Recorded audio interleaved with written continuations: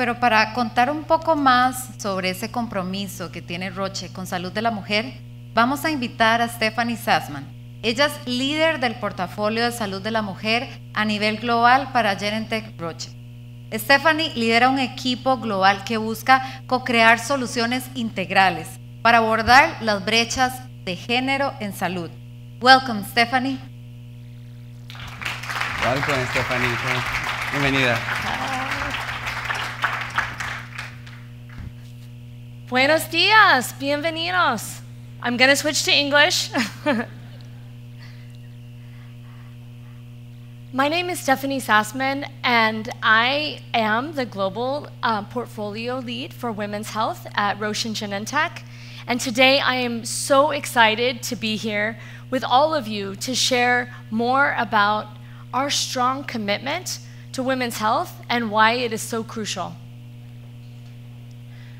Our women's health journey began by trying to deeply understand the patient journey, really the women's journey. Across conditions, we found that women as patients have additional hurdles and barriers when interacting with the healthcare system. And as we know, women are frequently taking care of everyone else. They're taking care of everybody in the family and putting their own health last.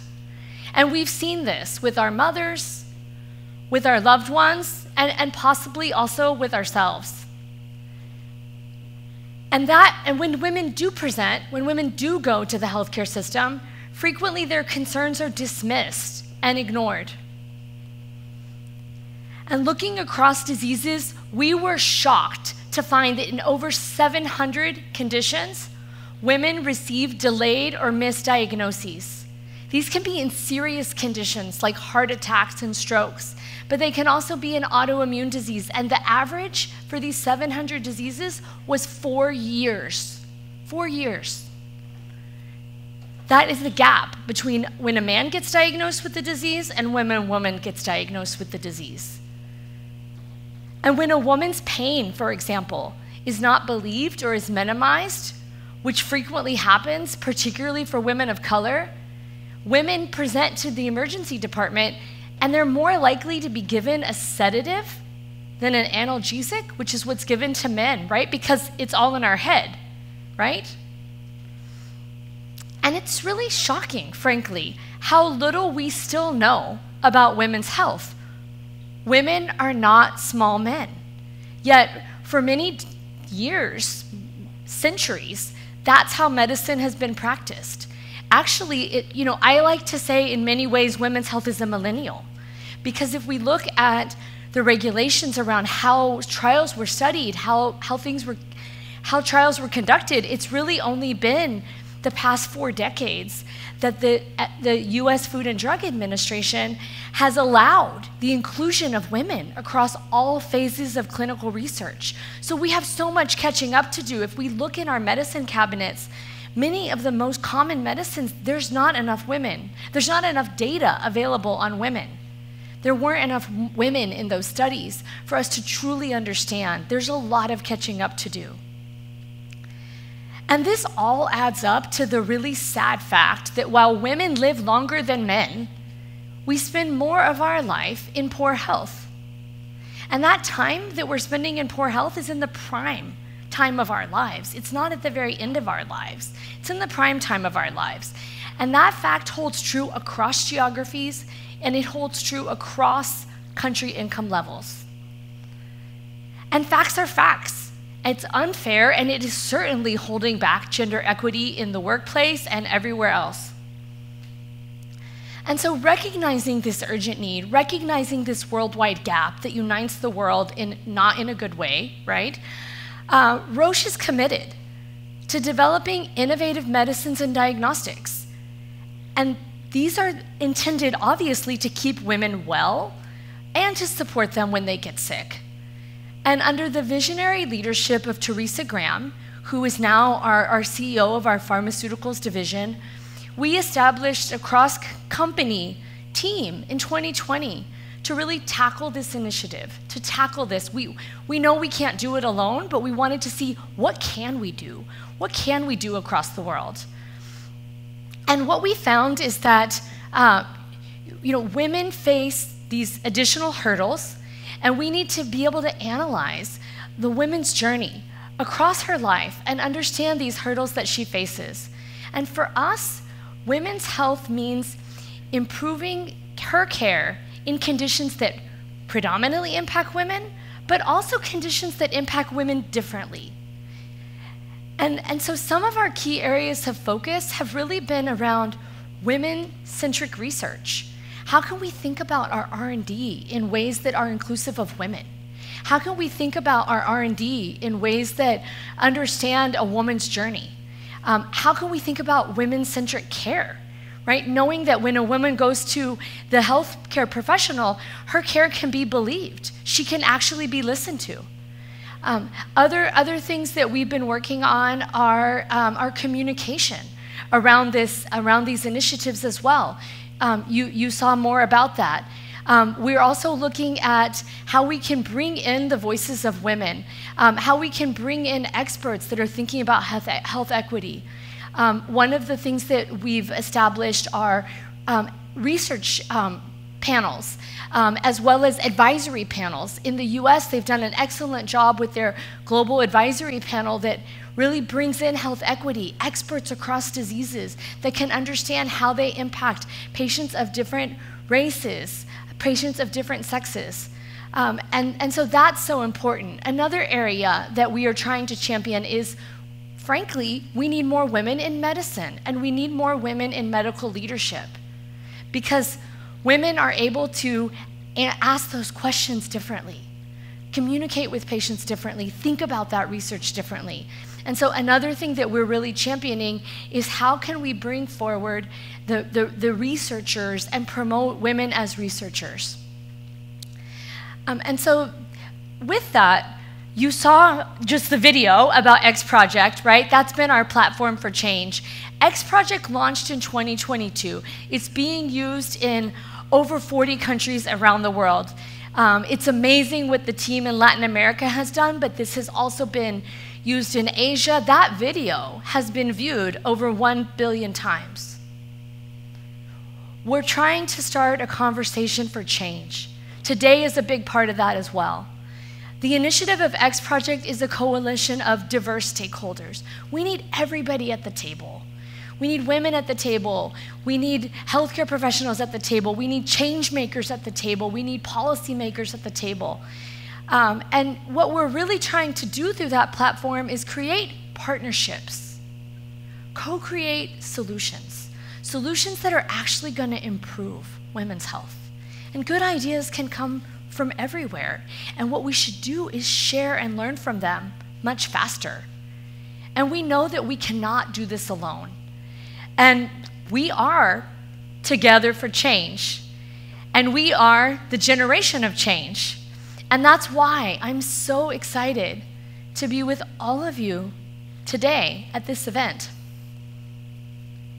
And I want to bring you a few examples. You're going to hear so much in these next two days. I'm so excited about what we're going to hear about, but also what we're going to create. What's going to come out of this meeting. Um, but few examples of our pioneering women centric approaches and one of them actually started in Colombia over 10 years ago. And that was through the pink clinics. And these pink clinics, Roche partnered with local partners to develop clinics where women could go and get breast cancer screening and get that screening tailored for them, meeting them where they were. These were clinics in the community. And they made a very big impact in Colombia. But guess what? one of our Roche managers in Africa heard about these clinics and said, This might work in my geography. So she traveled from Kenya to Colombia on a plane. She went and she saw the clinics, and she went back and began co creating with her stakeholders, working with county first ladies, working with the government, and they created the Empower Clinics. And you see a picture of one of those Empower Clinics right there. And you know what? There's now 19 of those clinics across rural Kenya. And they have provided breast cancer screening to over 100,000 women, but they did even more than that. Because when they started creating these clinics and working with these first ladies, you know what they heard? Why, why just breast cancer? Women have more than just breasts, right? And so what they did is they created integrated screening. Um, and so th- through this integrated screening, women can get breast cancer screening, they also get cervical cancer screening, they get hypertension screening, they get diabetes screening. In some of them, they can bring their husband, he can get screening so he knows what's going on. Really working to destigmatize and make this care, this preventative care, this important care more accessible. And I think that's genius, right? Because really, women don't have time for a body part by body part approach to our health. We just don't, right? I don't care if you live in rural Kenya or Colombia or Miami, San Francisco. I was asking my doctor, like, where's my integrated screening, okay?